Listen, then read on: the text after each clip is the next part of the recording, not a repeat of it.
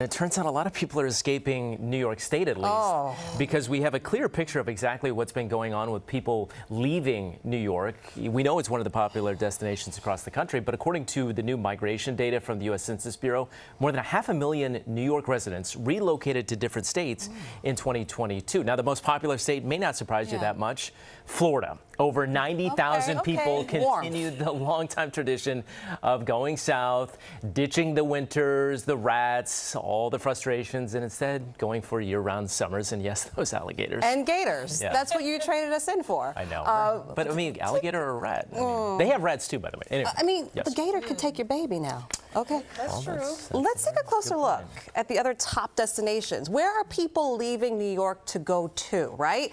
Um, people might be leaving New York, um, but they're not necessarily leaving the region, though. Take a look at this. About 170,000 New Yorkers moved to New Jersey, Okay. Connecticut, or Pennsylvania, three states that I have lived in.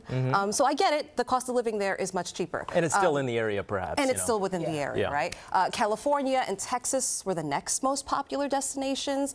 Um, also, a special shout out to the 52 New York residents who decided South Dakota. Only 52. So that was like the least.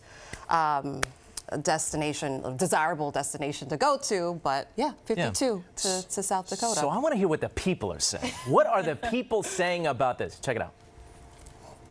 Is there anything that would force you, uh, you know, to move out and move away from the city, move away from the state? Well, I actually did, like last year, but I ended up moving back because it's, it was too slow. But New York is expensive, but the money is here. And then, like me leaving, it made me appreciate New York City even more. I can't lie. This is a strong Democrat Democrat state. Things need to tighten up a bit. You know, everything's a little too loose, and it seems like it's getting worse. perhaps to a warmer climate later on. I just thought of that this morning or yesterday. Yeah. I mean, it's going to be warmer over the next few days.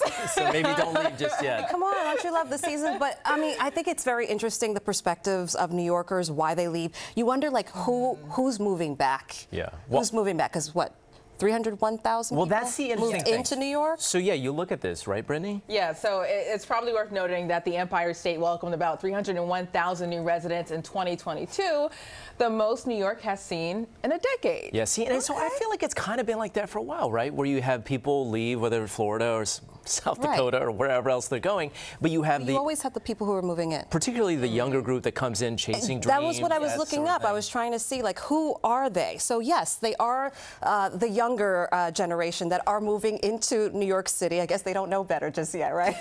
I mean, no, but is they're, great but they're, but they're coming here to work Yeah. in tech um, and, and, and health startups. Which are popping up everywhere as, as we've been reporting. And this one young woman said, um, it's invigorating and life affirming to live in New York. It's the center of the universe. But then those same young people say, when it's time to look for that apartment, That's tough. True. that is trade. when it is a really tough go. You cannot replicate this energy.